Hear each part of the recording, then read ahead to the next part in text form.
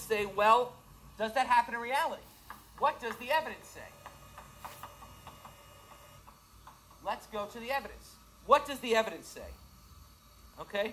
And there may be sort of no question more worked on in economics than the elasticity of labor supply or the shape of the labor supply curve. There is thousands of articles written on this question. Okay?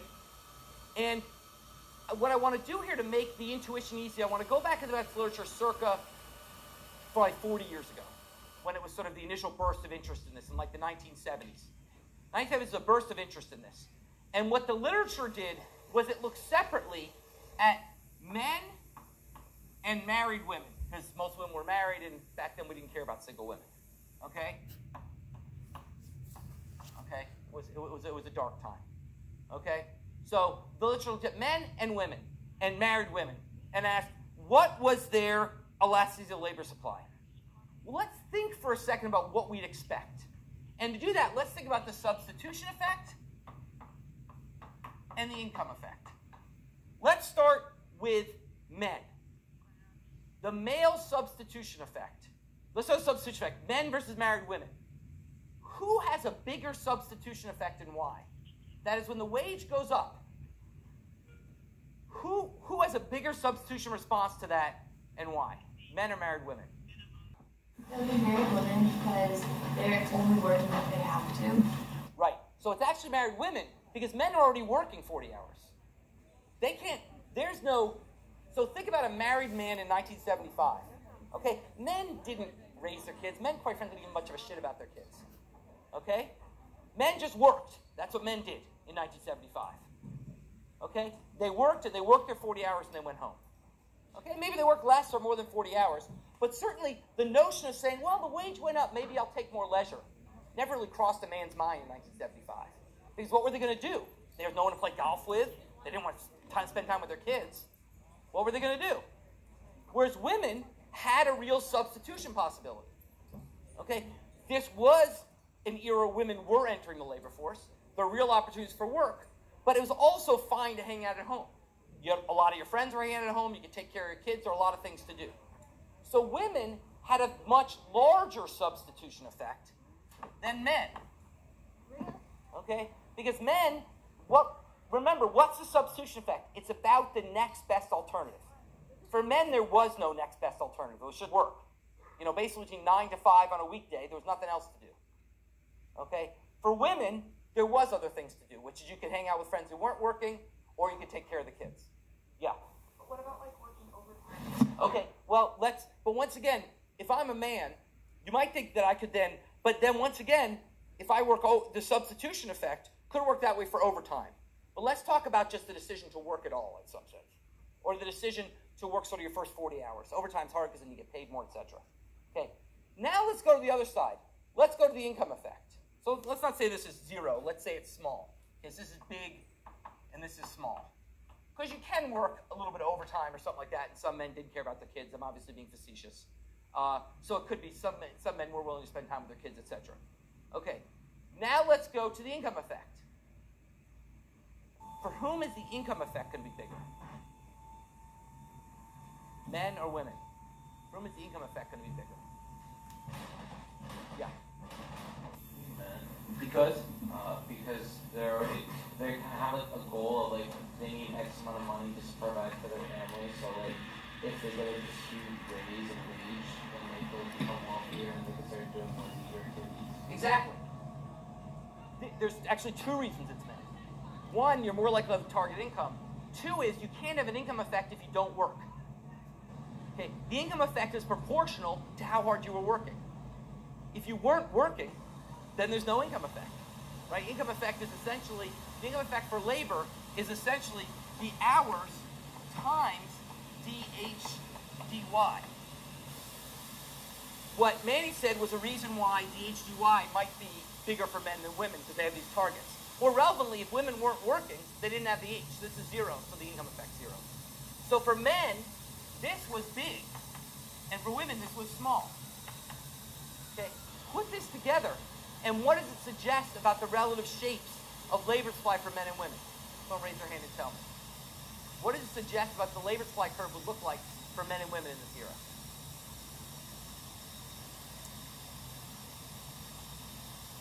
Okay. Given, given, we, given the intuition we talked about here, what does it suggest the female and male, the married women labor supply and the male labor supply curve should look like? Well, let's talk. What do we talk about? We talked about the substitution effect. If the wage goes up, it leads to more leisure, which means it leads to more labor supply. For men, it's not clear. You could very much get a Giffen effect here. Because basically, there's not much opportunity for substitution, but they might work a lot less if they get rich. Okay? So that is sort of the, the that's, what I like this example. It's hard, but I like this example sort of illustrates how substitution effects can come together to deliver a bottom, answer, bottom line answer. What do we know? What we know is that actually evidence is that female labor supply was very elastic. That circa this era, female supply has an elasticity of between 0.5 and 1. That if you raised women's wage by 10%, there was a 5 to 10% increase in their labor supply, which is pretty, not elastic elastic, but reasonably elastic. Okay? Whereas for men, it was pretty much zero. It wasn't negative, it wasn't positive, it was basically zero. Basically, men just worked 40 hours and then went home. Okay? So basically, an era where for women, the labor supply was very elastic and the standard direction. Higher wage leads you to work harder, an upward sloping supply curve.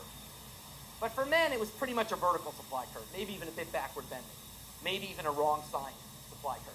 But pretty much you can think of it as zero. Okay? Now, what do we think has happened in the 40 years since to these two numbers? So in the elasticity for women of between 0.5 and 1 and men of 0. What do we think has happened to these two numbers in the 40 years since these, these studies, and why? What do we think has happened to these elasticity estimates and why? Yeah. Um, we got mixed together. Well, let's talk about women. What do you think's happened to the female estimate? Probably gotten less elastic. Because Um, there more of them are working in a primary role. Right. Well, all, this is going to come down because, in fact, it's now more standard just to work. Right. In fact, now for a woman today, in many communities, it's like being a man in the 1970s, which is if you don't go to work, there's no one to hang out with. Okay. Uh, so basically, this is going to get smaller, and they're more of a primary earner in the family. So this is going to get bigger. So in fact, female labor supply has fallen more to like about an elasticity about 0.2. It's actually fallen over time. Now for men, the question is, do you get the opposite effect? After all, men sort of care more about their kids now, and there's more sort of activities going on during the day.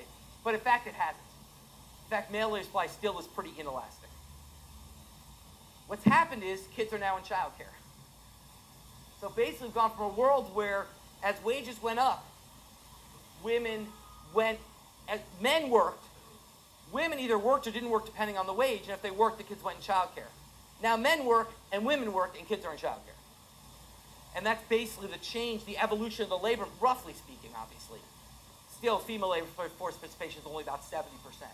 Okay, many women still do stay home and raise their kids and are in and out of the labor force. Okay, but by and large, we moved to a world with just overall less elastic labor supply. Yeah. Average like two parent household is, is richer now or No, or the average, well, okay, we're going to get into this when we talk about income distribution. What this has done is allowed the average two-family household to tread water. So it's the average two-family household today has the same income as they did in the 1970s. Why? Because workers earn a ton less in real terms than they did. And that's facts about inequality we'll come to. That basically the average family in America, despite having, going from the wife not working to the wife working, is no better off than they were 40 years ago. And that has lots of implications we'll talk about. Okay? So, any other questions about that? So let me end with one final example, okay, an application, okay, which is to the problem to the problem we have in the world of child labor. It's a huge problem around the world. As kids being forced to work was a huge problem in the U.S. until the 20th century. It's a huge problem around the world because a work can often be dangerous and bad for their health, but b they can't be going to school and having an opportunity to better themselves. If a kid is spending all day working, then that kid is destined to a life of working in the same crappy job because there's no way to get the skills that allows them to grow and go further. Okay? Now, one, when we, t- we will talk in the next few lectures, in a few lectures about international trade. And one criticism of international trade is people say, well, if you allow these developing countries to sell more stuff to the developed world, that will they'll put the kids to work more. So if we have free trade and Vietnam can suddenly sell a bunch of stuff to America, that's more kids they're going to put to work making that stuff. So one common argument you hear against free trade is it's bad for kids. But in fact, that argument is not necessarily right because it ignores an important point. Manny? Monopoly, they don't really, is education really that well? No, no, that, that, that's a different issue. The point, that, that's right. But the point it ignores is free trade makes families richer. And if families are richer, they may want to buy more education for their kids. So, on the one hand, it's true free trade makes kids more valuable in the labor force. On the other hand, it makes family richer and they want more education for their kids. So, to look at that, two Dartmouth professors did a study. We looked at Vietnam and looked at what happened when Vietnam liberalized trade in rice. Okay, they could sell more rice because now they're selling to the whole world, not just to Vietnam. Okay, you don't need to understand the graph so much as the intuition. If you give someone a bigger market, they're going to make more stuff. Okay, yeah.